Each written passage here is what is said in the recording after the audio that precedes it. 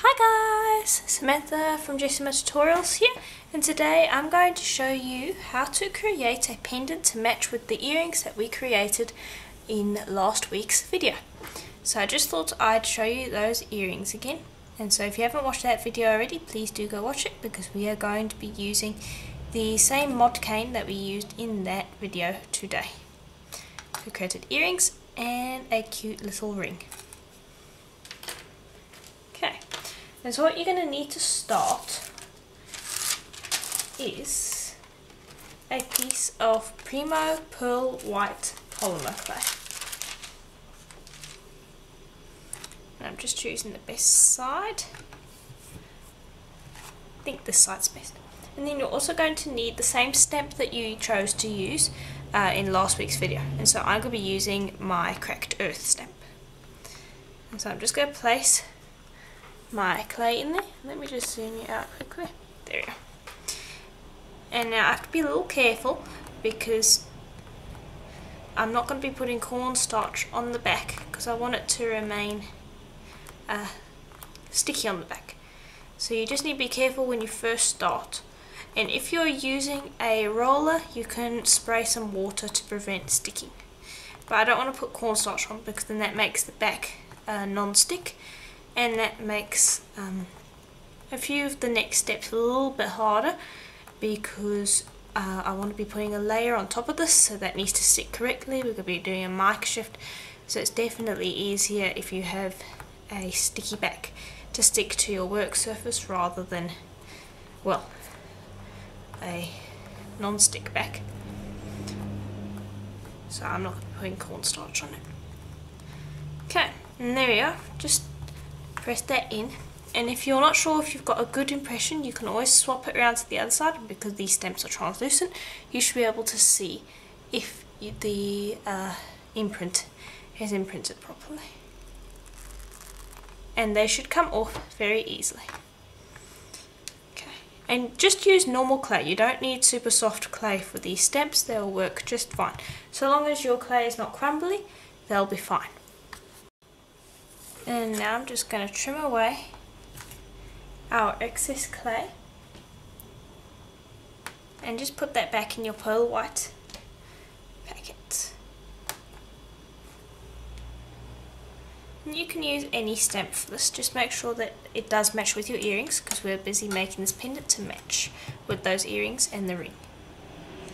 And just grab your um, flexible tissue blade and just do your mica shift. And you should come out with a really nice mica shift.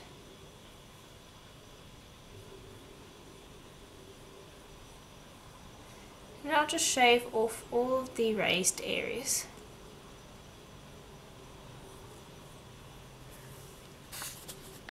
There we go. Now I'm just going to grab a piece of greaseproof paper and I'm just going to use that to burnish this flat. And so today I'm going to be focusing on telling you guys how to um, avoid seam lines and so if you've been wondering how to do that, carry on watching the video because I'll be doing a lot of, um, I'll be joining canes and I'll be joining veneers and we'll need to get rid of those seams. So I'll show you how to do those that successfully in this video. And there we are, that should be completely flat. Okay, so now we are ready to place mod canes on here. Now I don't want to use up too much of the clay and so I'm going to be bringing over my cutter that I'm going to be using today. I'm going to be using this nice square cutter. And I just want to trim around it because I don't want to use up too much extra clay. So I'm just leaving a little bit of a border around it so that it gives me some extra clay to work with.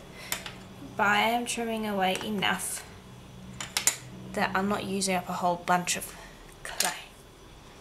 Now you will take your mod cane and I have a few different pieces. I've just cut it into lengths so we have some different pieces because each length will look a little bit different. And so I've taken those and I'm going to just cut those with my thin tissue blade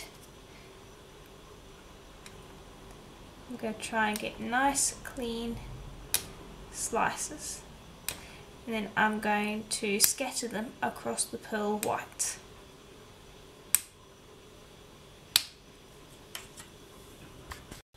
There we are. Then you'll take your greaseproof paper again, now that you've laid your cane slices over your pearl white. And you can use plain printing paper as well. And then just gently go with your finger and just start rubbing over the top. And this will work with any cane slices. So if you've been wanting to join cane slices onto a backing, this is a great way to do it. And if the cane is nice and soft, you should be able to do this and have no seams at the end of it. Just go and make sure that you give this a really good rub. And if you don't want to use your fingers, you can use your roller. Just make sure that you're not rolling backwards and forwards. You want to be pushing your roller backwards and forwards. Okay, it shouldn't take too long at all. There we are. Give it a feel over the top, see if you can feel anything. And I've got a few over there that just needs a little bit more rubbing. And you should be able to feel your hand if there's a seam. Okay. There we are. So that is our first veneer done. And so I'm just going to pop this off to the side. And our next veneer, we're just going to grab a piece of pearl white and I've run this out on my middle setting. So the piece of clay that I used for the mica shift in this one was about um, about two millimeters thick.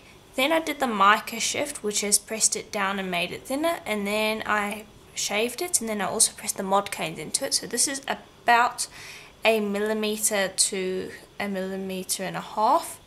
And so I'm going to start with this pearl white at about a millimeter thick and then once we've done what I need to do it will be about a millimeter and a half thick because I want the sheets to be around the same uh, thickness so again can I just place my cutter there give myself a bit of a rim to work around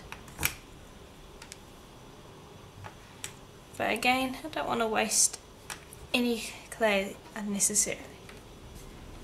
There we go. And then I'm going to take my mod canes again. And I'm just going to take a few slices. And it's okay if you make these a little bit thicker.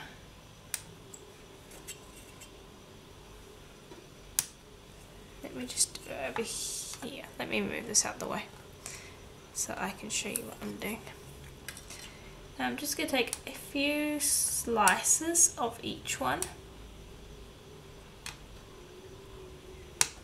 here. And then what I'm going to do is I'm going to start with my first one. I'm going to start at the top there. And I'm just going to place them next to each other. I'm not going to be overlapping, I'm just placing them next to each other.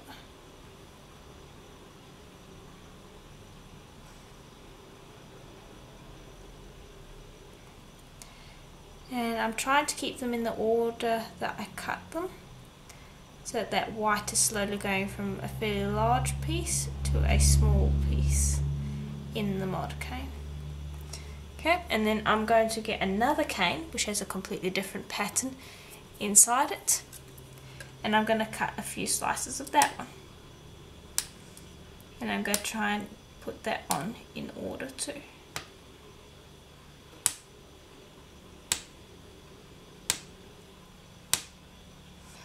And I'll carry on doing that down the square so that I have a line of one type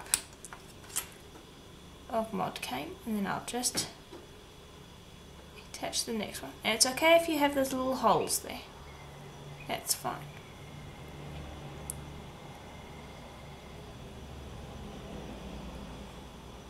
And I'll just carry on until I have filled my square with these Okay, and here is how it will look. Now again, taking our greaseproof piece of paper and just burnishing. Really easy.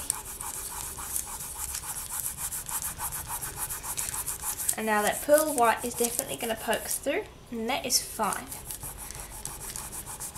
like that so that it still looks like they're all individual cane pieces and they don't merge into one thing.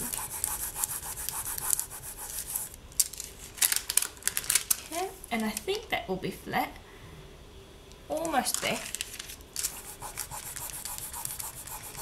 And the reason it's important to get rid of seams is because if you are doing sanding, you want something to be completely flat when you start. First off because it makes sanding a lot easier and secondly because if you don't do sanding, if you don't sand it vigorously, it means that you'll still have that seam when you are finished sanding and so um, that will actually appear after you start buffing and things like that. And so it won't appear as one smooth surface. You'll be able to see those seams. So it is important to remove them. Now we're going to be putting resin on our project today so I don't have to worry too much about the seams but it's still a good idea to get rid of them if you can okay and there we go that's nice and smooth so I'm just going to trim these ends. So it's nice and neat.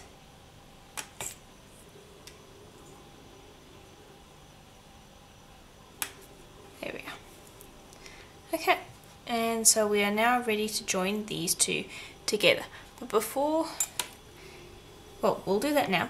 But after we do that, we need to start uh, making a cool little wire inclusion. So I'll show you how to do that in just a minute. What I want to do is I want to run this through my pasta machine just to make sure that it is the right thickness. Okay, now I'll do the same for this one. There we go. And that will just make sure that it's nice and even in thickness. And then trim both sides so that they're nice and flush with each other.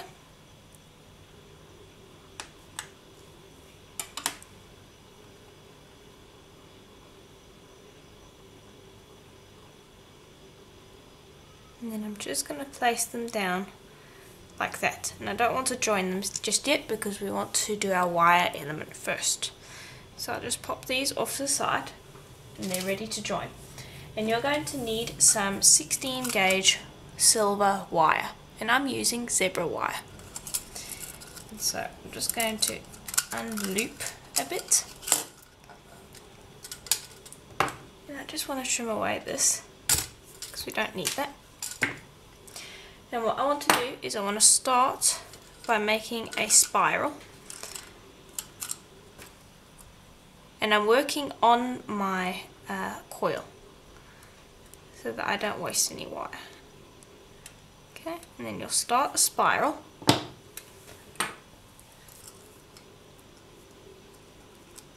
And then just use some flat nose pliers.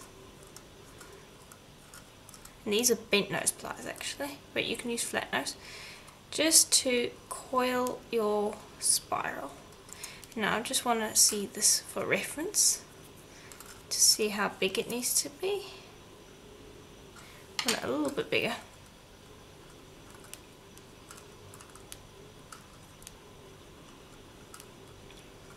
Okay.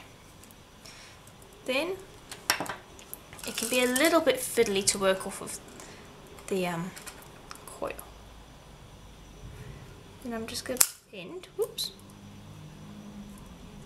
to grab hold of that a bit better. There we go. I'm just going to make a bend in the wire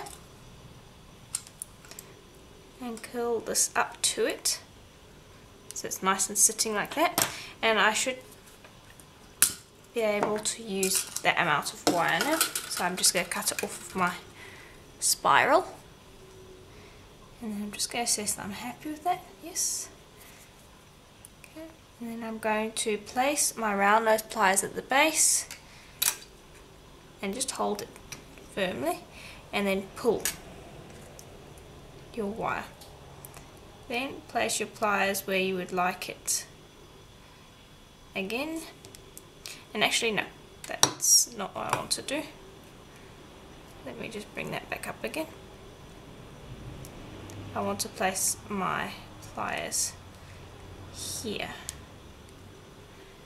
and bend.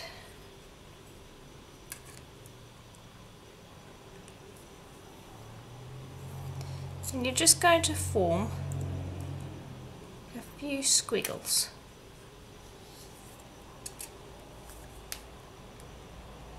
And they're completely up to you how you want them to look.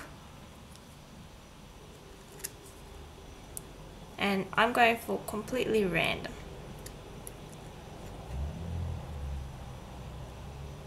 Okay, and what I just want to keep an eye on is it needs to reach the top of the square.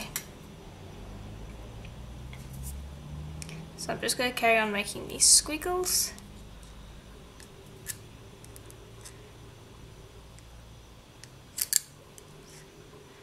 And it's a little fiddly to do on camera because I have to have my arms much further out from me. I like to be working right up close when I'm doing wire work. So it might look like I'm fussing with it. That's just because it can be a little bit difficult to capture on the camera.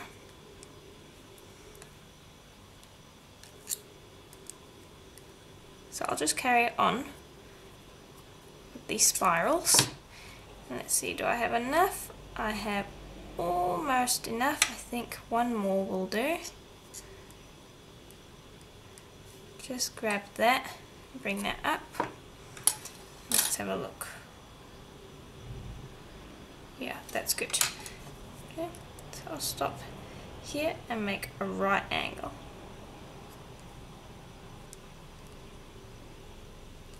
There we go. Okay. So I'm pretty happy with how that looks. And now what I want to do is I want to go and get a nice round object to wrap this around. And I'm just going to be using these Wubbers pliers. That's how I do believe you pronounce it. I'm just actually going to flatten it out a little bit more.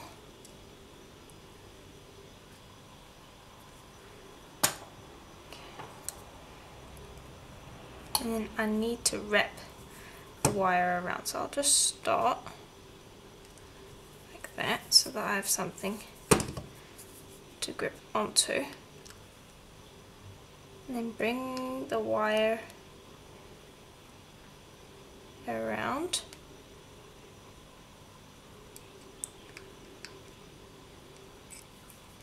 Like so. And then I just want to trim it. And then hold on to that piece. You don't want that flying across the room because it can hit you in the face and that would not be very good.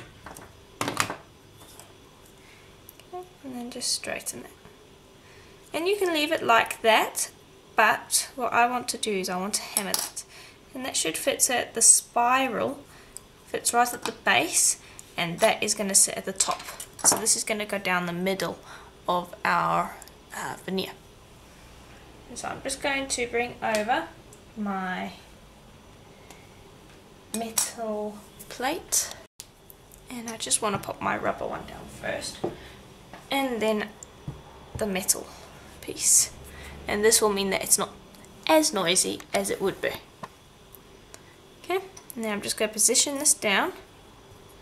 And I'll grab my hammer and now one side's going to be hammered and one side's going to sit in the clay. So I want to figure out which way I like it like it that way.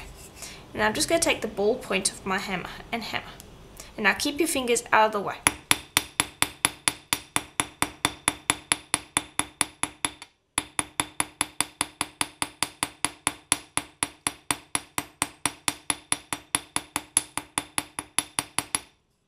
Okay, and you can see that that is starting to get a hammered look and I'll just continue doing that all the way up.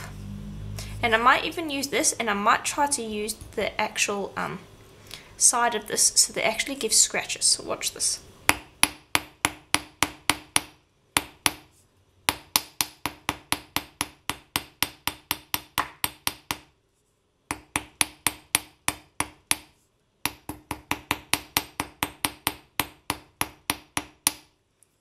if I flash that around, hopefully you can see those scratches.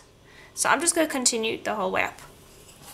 Okay, and so when you are done with that, you'll want to just gently move this back in because it might have stretched a little bit.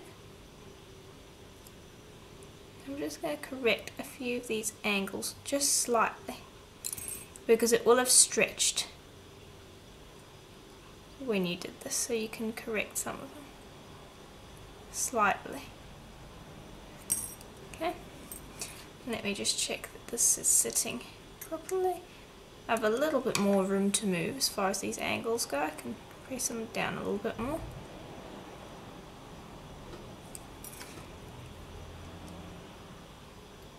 Just a touch more.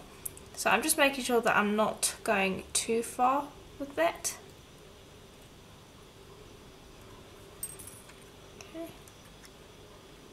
okay that fits pretty well. Okay, now what you want to do, just get rid of that and bring over some sort of a silver polishing paper, which or polishing cloth, not polishing paper, polishing cloth and you want to just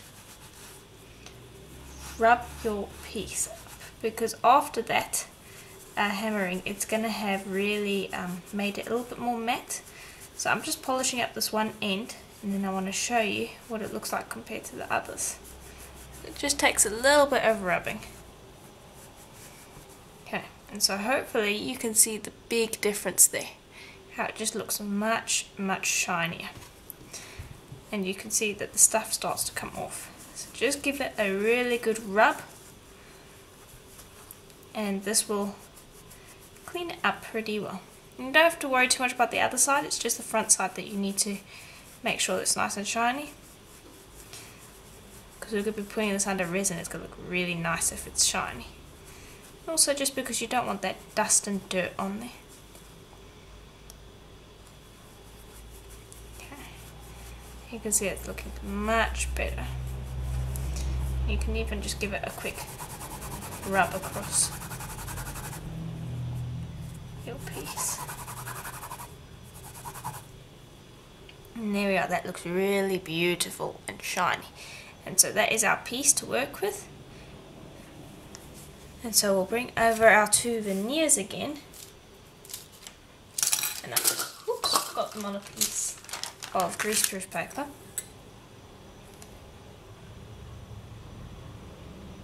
And all I want to do is I want to actually press this directly into the veneer so that I have an outline. I'm going to do the same here. Press directly in. Oh, sorry, this has gotten too bright for you. Let me just tone that down a bit. There we go. Just press that into the veneer like that. I've got these two on a piece of paper. I've got them joined together. And so that's going to be sitting down the middle. So now we just want to quickly fill in that seam. So I'll take these off of the paper.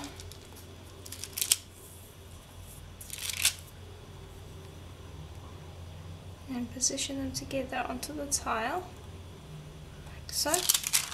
And grab your paper and just smooth the entire piece.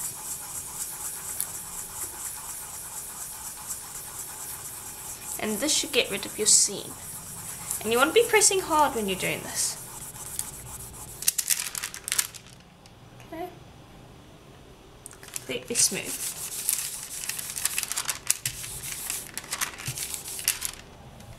Right. So now we're almost ready to put that in. I want to just take my square cutter and position it. So let me get my head in there. I'll just press down. Get this out of the way.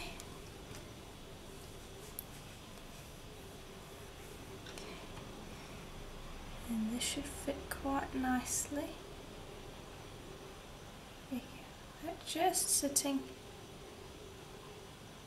over there by the veil. And I'm just going to press that in.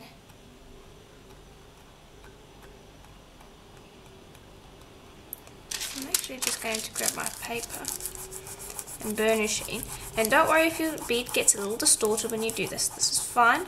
We'll just cut it again. For the moment, we just want to burnish that wire in there. Okay. Then take it out. And it will have left an indent. And then just trim away your excess. There we are.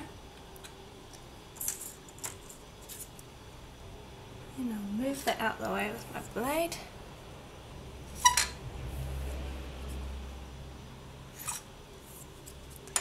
Okay.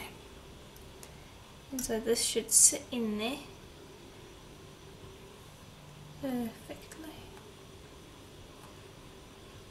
Okay. And this is just domed a little bit, so I'm just gently going to press on it so that it's not trying to lift out of the clay.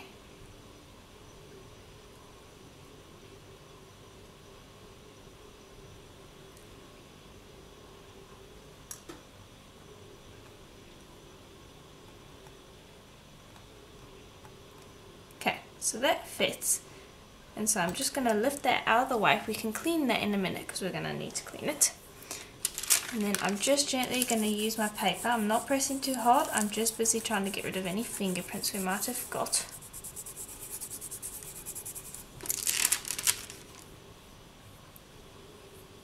Okay, and then I'm going to set this with a heat gun. If this is a tile that you can put in your oven, then you could also bake it. But I'm just going to set it with my heat gun quickly. Okay, and so I've just cured it with the heat gun and let it cool. So now I'm just gently going to pick it up. I'll just put that off to the side. And we're going to be using a sheet of black polymer clay that has been rolled out on my thickest setting, which is about 2 millimeters thick, and the reverse texture stamp to the uh, cracked earth one that we are using. And this one I do believe is called crackled lava. Again, I'm just going to be careful because I don't want to put cornstarch on the back.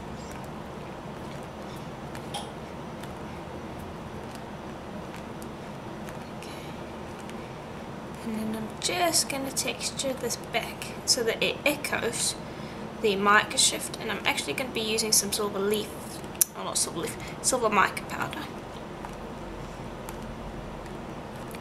Okay, just make sure that that's pressed in correctly.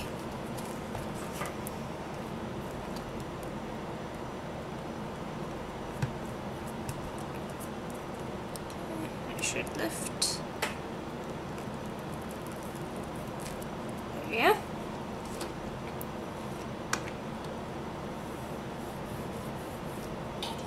Now I'm just square cutter again to trim away a bunch of this excess because I don't want to be painting on more silver mica powder than I need. Get rid of that. And then I'm going to be using this beautiful silver mica powder and I do believe I've called it Arctic Night. I'm just going to take a brush and I'm just going to paint it into these cracks. And I apologise for that whirring sound in the background, but I've got the aircon on, it's really hot here.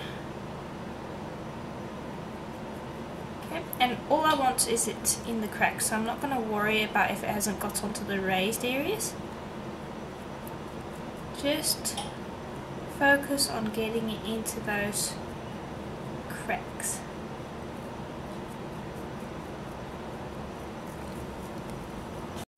Okay, and then when you've done that, grab a tissue and spray some alcohol on it.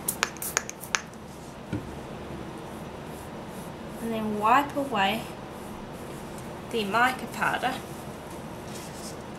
that is on the raised areas. Now you don't have to worry too much about getting this perfect right now because we will sand it.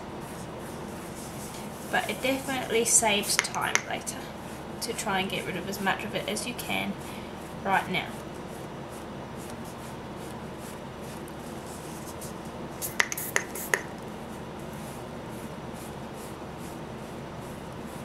we are.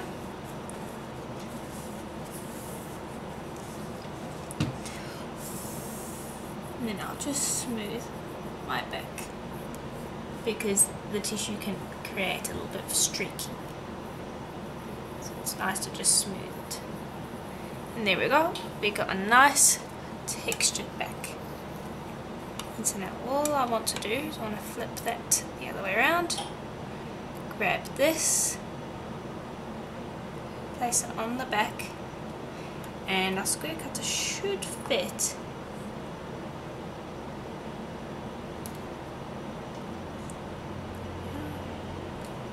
and I'll just lift that up. I'm just being very careful because this is about as strong as a potato chip at the moment. And then I'll just use my blade to just smooth along the sides. We will need to do a little smear later to tidy it up. But I can use my blade to just tidy it up a bit in the meantime.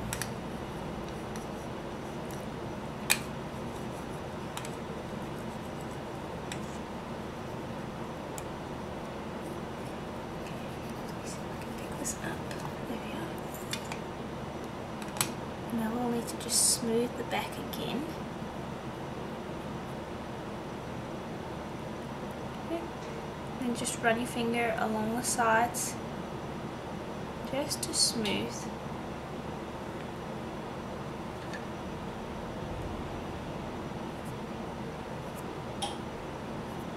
There we are. And then if you see any scratches, just run your finger along as well and that should smooth out any issues on the back and the front is fine because you've essentially sealed it um, not sealed it, you've cured it. And so now I'm just going to pop that onto a piece of greaseproof paper and then I'll put that in the oven for a full hour at Premo's recommended temperature. And then after we're done we're just going to do a smear along the sides. We're not going to attach the wire yet. The way we're going to attach wires we're going to be putting resin over the front of this. And so I want to give this a good sand on the front and so we're only going to be applying that wire to the bead once we've actually got all the way to the point where we can uh, put the resin on okay and so this is out of the oven and now I just want to see if this fits still.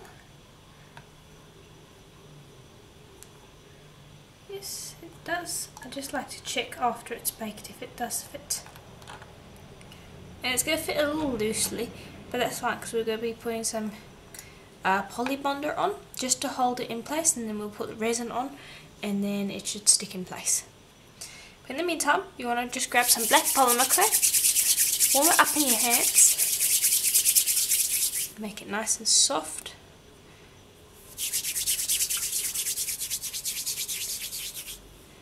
And just roll that into a tube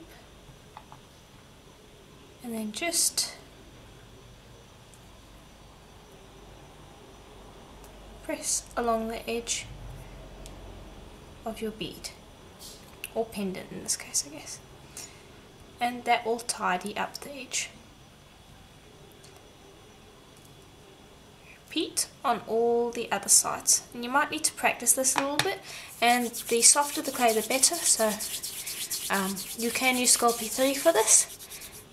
Personally it's better to use the brand that you're using, but if you have a bunch of black Sculpey 3 that you have no idea what to use it with, then this is a good technique to do it with.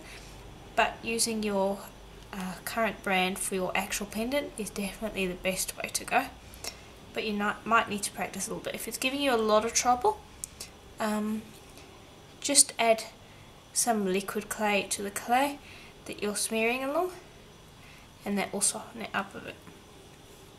You can see even I'm having a little bit of trouble but you can just patch that up. Okay, so it's going to look a little bit um, messy in the beginning. Just gently tap down the clay so that it is all black and then gently start to smooth each side with your finger. Smooth down those seams and that is when it will start to look much better.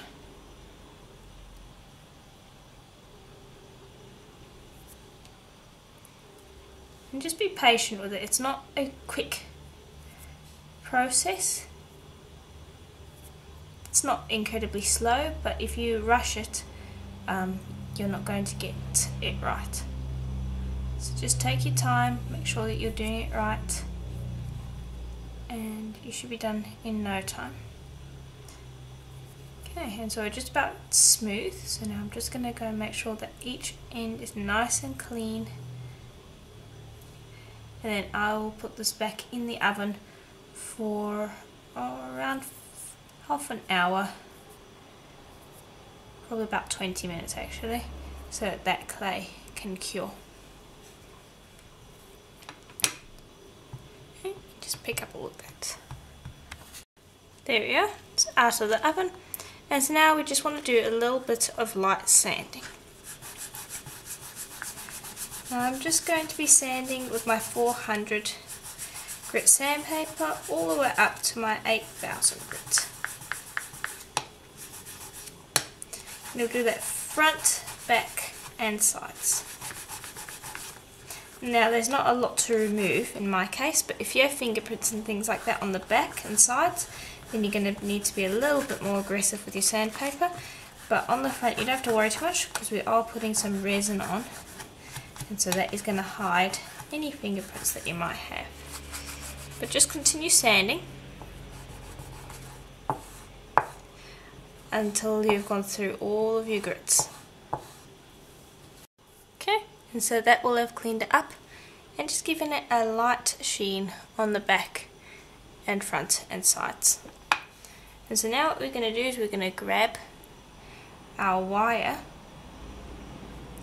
and just make sure that we've got it in the right spot. Okay. Now I want to just go get some gloves on because I don't want to get super glue on my fingers. Okay. And I'm going to be using Lisa Pavelka's Polybonder. And this is just supposed to be a temporary uh, glue to keep this in place while we are putting resin on it. So I'm just going to paint it along the back here.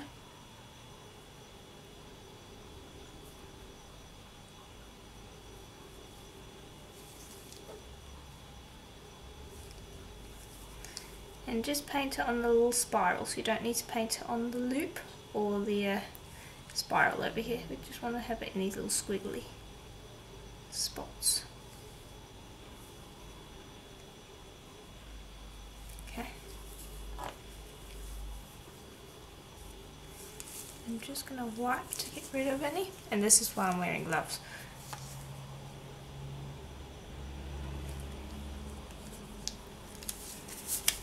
And I'm just going to press down and I'm going to hold it there while that glue dries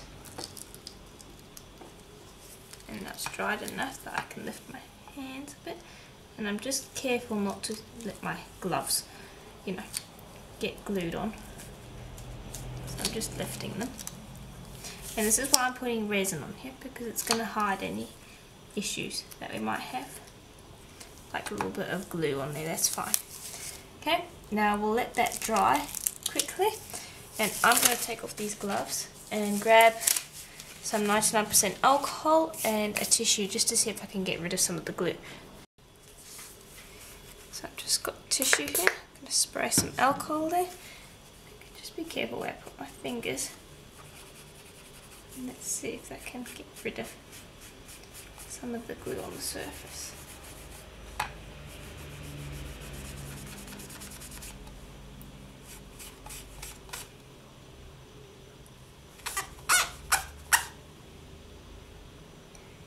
There It's getting a little bit. But not a major problem. Just cleaning up a little bit. Okay, then let that glue dry. And so I'll just put that off to the side. And I'm going to get our resin ready. Okay, and so we're going to be working with ice resin today.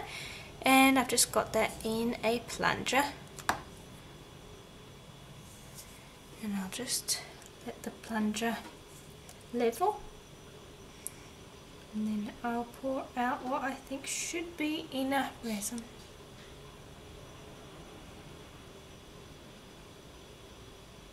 Nice thing about the plunger is that it doesn't um you don't need to worry about measuring it out so you can do it in tiny amounts. And so you're not even going to waste resin with that. And if you're looking for an ice resin plunger, I bought mine off of Linda's Art Spot. She's got a bunch of cool tools there, so you can go check that out. There'll be a link in the description below the video. Because now all we're going to do is we're just going to make sure that we mix up that ice resin correctly.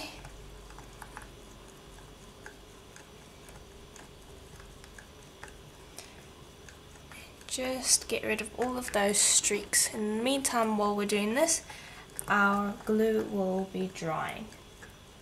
Which is good because um, we want that glue to be completely dry before we put the resin on.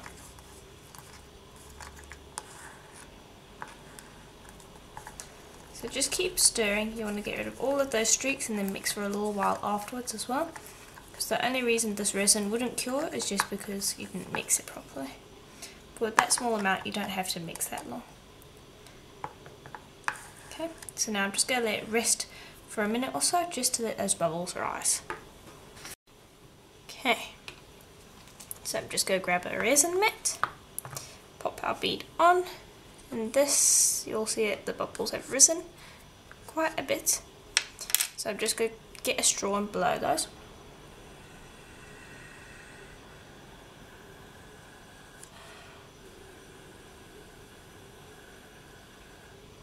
And that will get rid of a lot of them. Now what we're going to do is we're going to be very careful now because we don't want to add too much resin that we get spills. Just add the resin and then spread it out. All the way to the edges. And then we can add some more later. Now don't worry, there are a few bubbles in here at the moment. They will rise and I'll be able to pop them. And so the resin won't be cloudy like this for long. I'm Just going to add a bit more here. And make sure you get it on the wire. Because you want that resin is what's going to set that wire in there. Okay, and then once you've spread everything out, you should be able to add a touch more resin. Now we're probably going to get drips around where the wire is. That's just something that's fairly inevitable.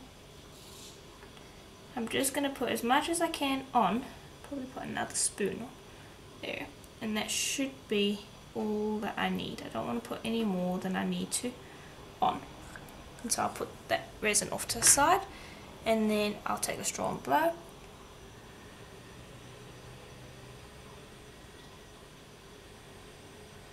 and that will get rid of a lot of the um,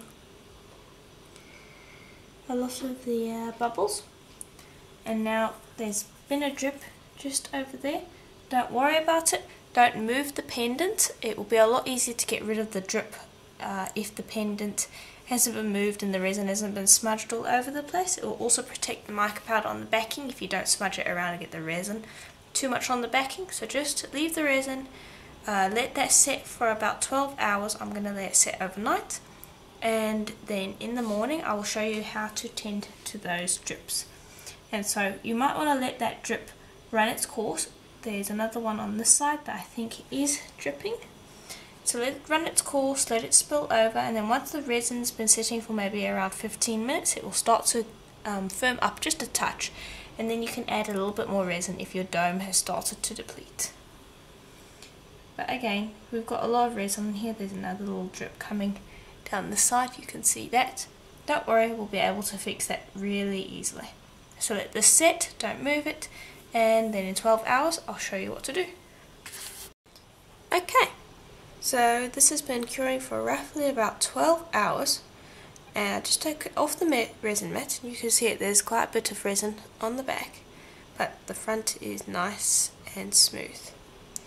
So now you're going to do is you're going to take a craft knife. You're just going to go with it and you're going to draw, not draw, slice a line across that resin.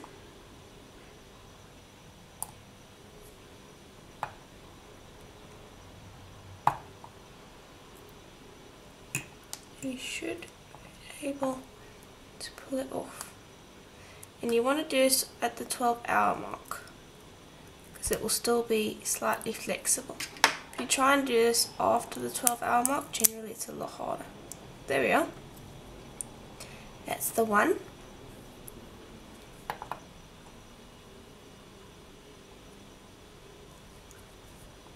Just want to slice wherever those are.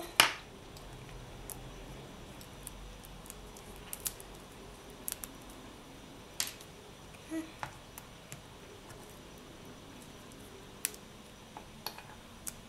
There we are. Nice and clean. There we are. So that is how you get rid of little resin problems. And so now we have a beautiful pendant. And this is where we're going to hang it. the nice thing is the resin's almost actually um, sealed the uh, join over here. Because we've got some resin here. And I'm not going to try and pick that out. Because that's actually quite good because it's sealed off our joint. So this won't be moving. So it's a sealed loop, which is great.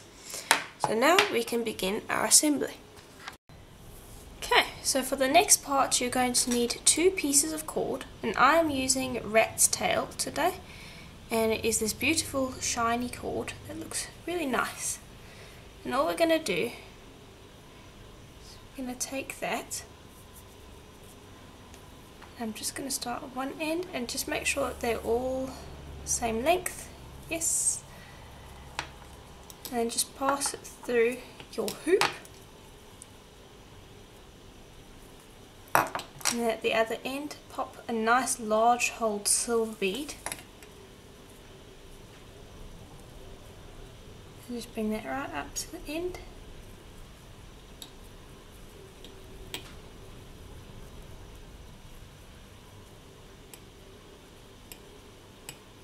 And then I'm just there we go. Got those separated the right way. And just make sure that they're the same length again sometimes when you're doing that they can end up not being quite right so I'll just trim and then I've got these nice little cord ends here and with a little bit of fussing you can get that to go through like so then grab something to close it up.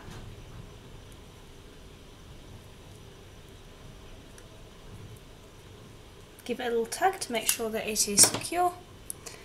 Repeat on the other side, make sure it's the right length, trim if not. And then squish those cords into here.